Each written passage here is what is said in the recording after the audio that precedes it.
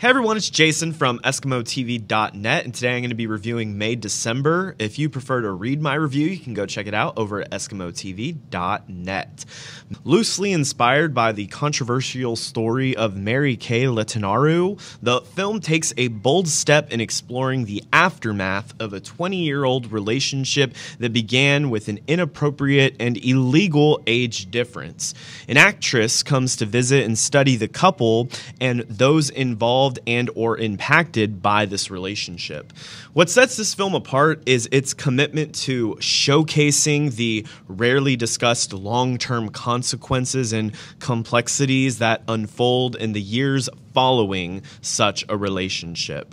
Under Haynes' direction, the film unfolds with a deliberate and nuanced pace, allowing the audience to fully immerse themselves in the intricacies of the characters and their relationships. Christopher Blauvelt cinematography, with its older, grainy look, adds a layer of realism to the scenes, complementing the film's exploration of the long term impact of unconventional relationships.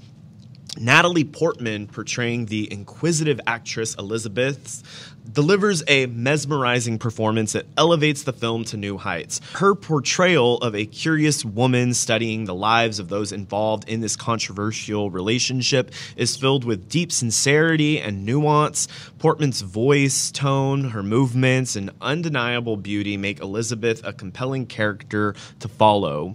The suspense surrounding Elizabeth's true motivations for studying these characters so deeply adds an extra layer of intrigue, keeping the audience guessing and engaged throughout the film. Is her dedication merely so she can portray Gracie more accurately in the film, or is there something else she is feeling? It certainly appears that there is. Julianne Moore as Gracie, the older woman in this once forbidden relationship, also brings forth a powerful and nuanced performance to the table. Moore masterfully communicates Gracie's discontent with Elizabeth's presence through facial expressions and an uninspired tone of voice, leaving audiences questioning the reasons behind allowing Elizabeth into her life Moore successfully captures the essence of a character whose actions have left a lasting impact on those around her. Additionally, Moore skillfully portrays Gracie's unhinged behavior, vividly exemplified when a canceled pie order sends her into a tearful tantrum. This psychotic behavior leaves the audience asking, How did her relationship survive for so long? She is incredibly unhinged.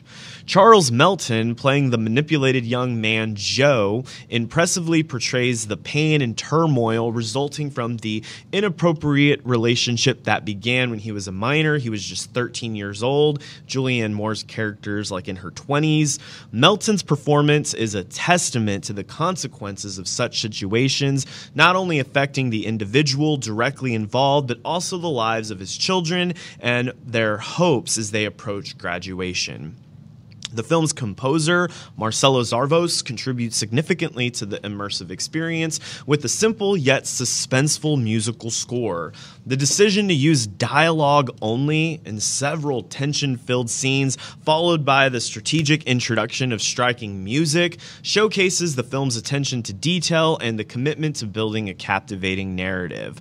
Clocking in at just under two hours, it's 117 minutes. May December is a slow burn, but it never feels feels sluggish. The tension, well written characters, and superb acting keep the audience engaged from the first scene to the closing credits. This film is currently in select theaters. It's playing at the iPic Theater here in Houston, Texas, before it begins streaming on Netflix December 1st, 2023, and is a must watch for those seeking a thought provoking exploration of the repercussions of unconventional relationships. May December is a masterpiece, seamlessly blending a compelling narrative with exceptional performance and technical expertise. It navigates a sensitive and often uncomfortable subject matter with grace, no pun intended, and offers audiences a chance to reflect on the complexities of human relationships. As award season approaches, this film is undoubtedly poised to garner nominations in multiple categories, including Best Picture, Best Actress, Best Supporting Actress, Best Supporting Actor, and maybe even Best Ensemble I liked these uh, group of people and the way that they interacted with each other. Don't miss the opportunity to experience this cinematic gem. I'm going to give May December an A. And that'll do it for my review. I hope you all enjoyed this review of May December. If you did, smash that like button. That'll help this video rank higher in the search results. And if you want to see more videos like this in your feed, you can also consider subscribing to the channel where you'll find reviews, unboxings of home entertainment, and more. You can also check out that website, EskimoTV.net, where you'll find reviews from myself as well as other authors. Until next time, y'all, my name is Jason Escamilla from EskimoTV.net.